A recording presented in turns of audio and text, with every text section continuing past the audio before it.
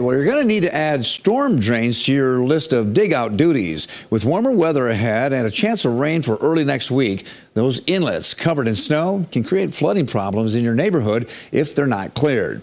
KELOLAND's Perry Groten tells us how clicking on a map at the City Sioux Falls website can help you locate those drains that are otherwise hard to find underneath all that snow.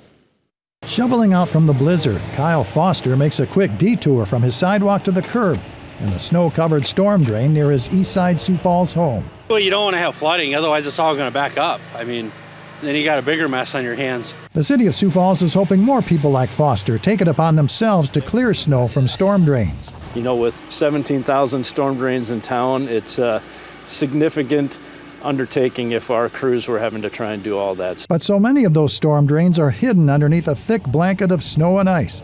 So the city has created a map identifying where each storm drain is located, represented by a water drop inside a blue dot. If you are going to go to your residence, you punch in your address down at the bottom, it'll zoom right to that spot, and then those blue dots will show up. The map also allows you to alert the city if there's too much snow and ice clogging the storm drain for you to remove on your own. If it's totally ice shut, you click on the blue dot and there's a link on there to report it as a needing to be opened up and that creates a work order for our team. There's also a low-tech way to identify a storm drain in your neighborhood. Sometimes the steam from below ground will melt away the snow.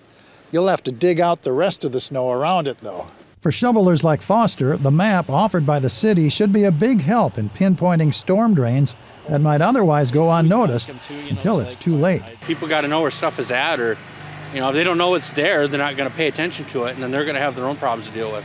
In Sioux Falls, Perry Groten, KELOLAND News. And here's a tip. Berg says that the best time to dig out your storm drains by your house is right after the city plows go through the neighborhood. That way you'll keep ice from building up in the grates, which makes it much harder to remove.